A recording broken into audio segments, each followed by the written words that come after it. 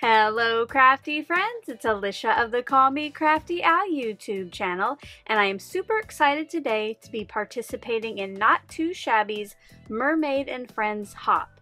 I hope you'll stick around to see what I'm going to create, find out how you can follow along on the hop, and be entered to win a $25 gift certificate.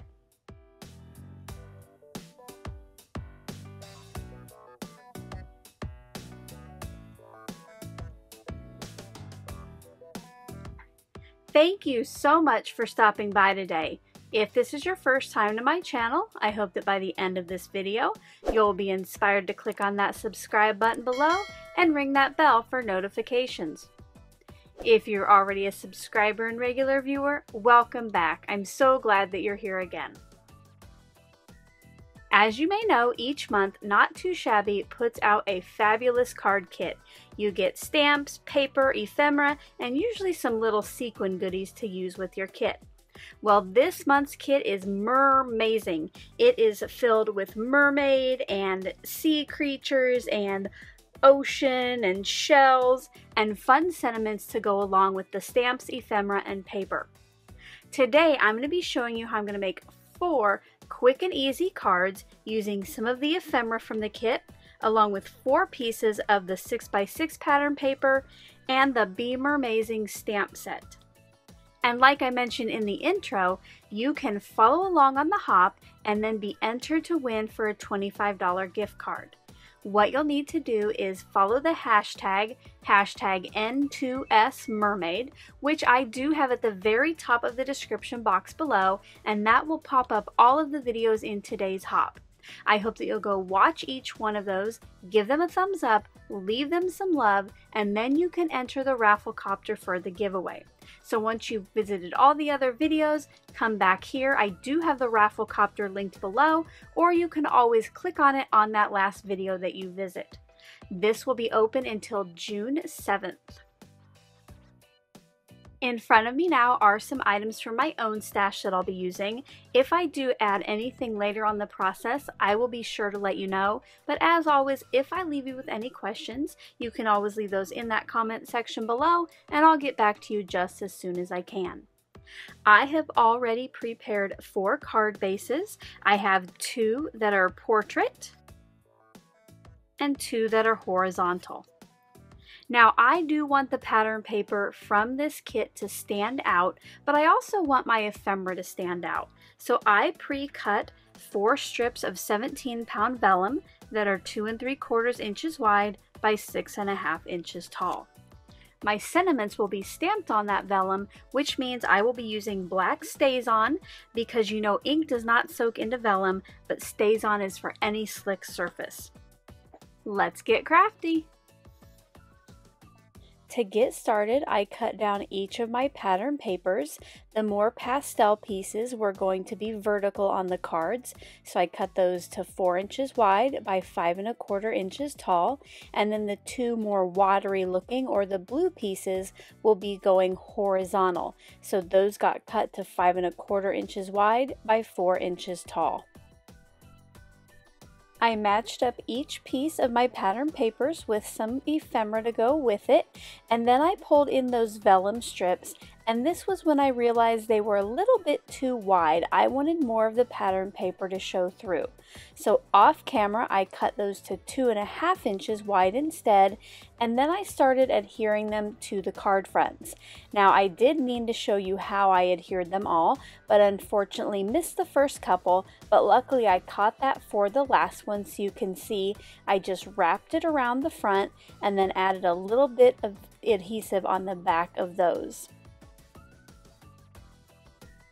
Once that was done, it was time to stamp my sentiment. And for the ones with shells, so the crab and the turtle, I'll be using Let's Celebrate. And the ones with the mermaid, I'll be using You Are Mermazing. I am going to use my MISTI so I can set those up and make sure they stamp exactly where I want it. And because of the StazOn ink, sometimes I have to stamp that twice. I placed each of the card fronts into my MISTI and laid the ephemera where I was going to want it on the final card. This allowed me to set up the sentiment in a good spot to go with the ephemera and then I inked those up and stamped it with StazOn. I did make sure to clean off my stamp between each of the cards so that I could place the new card front on there and arrange the sentiment to go with the new ephemera without getting ink on my vellum. While I work on some more of the sentiments, I thought it would be a great time to stop by with the QOTV or the question of the video. Today I would like to know, have you ever used vellum in your card making? Let me know in the comment section below and make sure to include the hashtag, hashtag QOTV, so I know that you've answered the question and would like me to see it. For myself, of course, you know I have used vellum in my crafts, and I actually enjoy using it a lot. I have three different weights, one that's this thin, that's kind of like a copy paper weight, up to 36 pound, which is more of like a cardstock, not quite as heavy, but I can use it for card bases. After I had all of the sentiment stamped, I could start assembling these cards. The first thing I did for each one was add adhesive to the back of the pattern paper and vellum piece, and that got centered on each of the card fronts. Then it was time to get the ephemera adhered down as well. If the card had two pieces of ephemera, the more oceany doodad, like the coral, got adhered just flat to the vellum, and then I brought in my big blue roll of foam tape to adhere down the mermaids or the crab and the turtle. This was because the card itself was pretty flat already, so this gave it a little bit of added dimension. I wanted to finish these cards off with a little bit of sparkle, so I brought in the blue sequins from the kit for the two cards with the blue backgrounds, and then for the two cards on the left, I got out some clear holographic sequins from my stash. I placed mini glue dots where I wanted each sequin to go on the finished card, and then I used my jewel picker to place a sequin on each of those. On the turtle, I did end up going with three groups of two sequins, and on the other cards, I just did a total of three. And here's a look at the finished cards.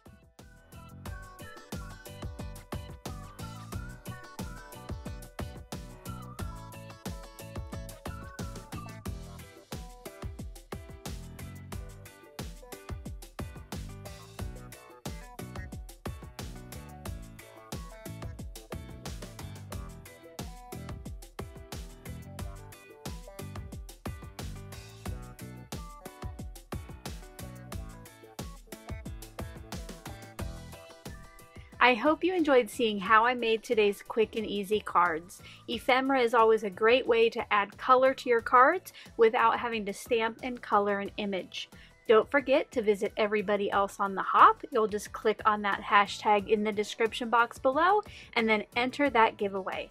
Thank you so much for stopping by and until my next video, I hope you're all having a crafty day. Bye-bye. Thank you so much for taking the time to watch all the way to the end of the video. I hope now you'll consider clicking on one of the videos or playlists I have linked above, and if you're interested in any of the products or tools I used in today's video, I do have some links in the description box.